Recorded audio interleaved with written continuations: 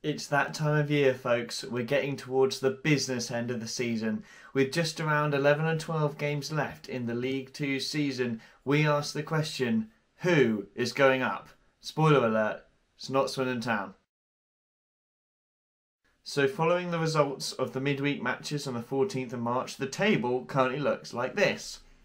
Leyton Orient are far out ahead at the top of the table. They'll surely be champions as they're six points clear with the 12 games to play. Stevenage follow them in second, followed by Carlisle, Northampton, Stockport, Bradford, and Salford make up the playoffs, with Mansfield and Sutton chasing them. And that is where I'm going to draw the line. I don't believe that Barrow, Swindon Town, Doncaster Rovers, or any of the teams below them have the capacity to make it into the playoffs. I still doubt Sutton's credentials, but we're going to include them given they're only a point outside the playoffs at the time of recording. Now let's compare that with an expected points table, this one from highcharts.com. This predicts the outcome of the League Two season. As you can see, Leyton Orient still out on top, Stevenage and Carlisle also going up automatically. Then the playoffs, we have Northampton, Bradford, Mansfield, and Stockport. So you can see that Salford have slipped outside the playoffs there.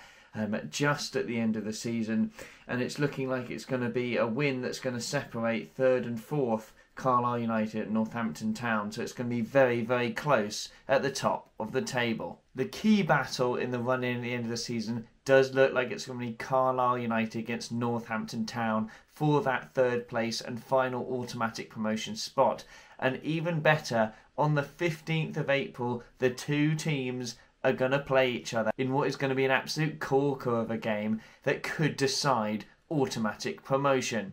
Carlisle United have a fiendishly tough run in, or if your glass half full, they have it all within their own hands, as they're set to play every team in the top eight, apart from Mansfield, of this final projected table. Very, very tough fixtures ahead for Carlisle, but if they can get those key wins and keep the momentum going, then they will be promoted automatically in what is an unbelievable achievement from Paul Simpson's side, who were fighting its relegation at the end of last season. Northampton, on the other hand, who will be chasing Carlisle for that final automatic spot, only have, apart from Carlisle themselves, Bradford and Stevenage to play of those top teams, making it a much easier run in on paper for the Cobblers. Can they do it? Can they get into the automatic promotion spaces that they've occupied for much of this season? Or will they miss out just as they did on the last day of last season when Bristol Rovers pulled off a miracle 7 0 win against Scunthorpe on the final day to deny Northampton automatic promotion?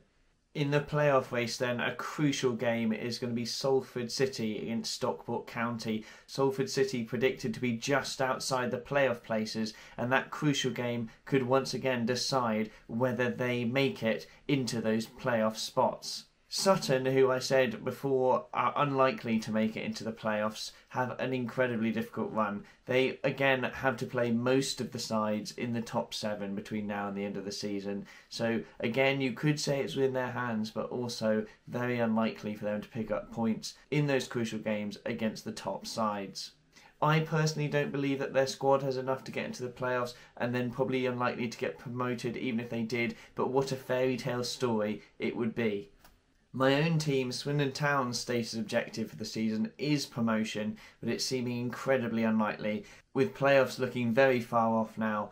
We need about 25 points to get to the 75 point mark, which usually is enough for the playoffs, but that would mean that we'd have to win at least seven of our final 12 games, which, based on having watched them play a hell of a lot this season, seems incredibly unlikely. Last season, we managed to go on a crazy run. We won our final six or so games, which catapulted us into the playoffs. We'll have to go even harder if we're going to do it this year. Personally, I don't think it's going to happen. Mansfield Town are the side that the predictor estimates will sneak into the playoffs, and they've got a couple of pretty simple games in their run in which could help them do that. They play Harrogate, Rochdale, and Colchester in their run in. They have got a few tricky games as well, but those three games are pretty much bankers and have to be nine points out of a possible nine if they are trying to reach their objective of promotion this season. Do you think you can do it, Mansfield fans?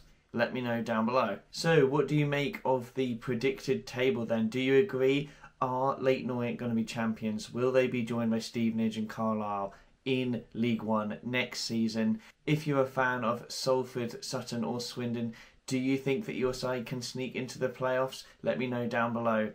And Northampton Town fans, what do you think about the predictor having you to miss out on the top three in a second consecutive season? Be very interested to hear your take. And if you've enjoyed the video, please like and subscribe. Um, we'll be doing another video very soon on the other end of the table about who's going to get relegated. So do subscribe if you're interested in seeing that one. Thanks very much for watching. Up the swing. Let's go.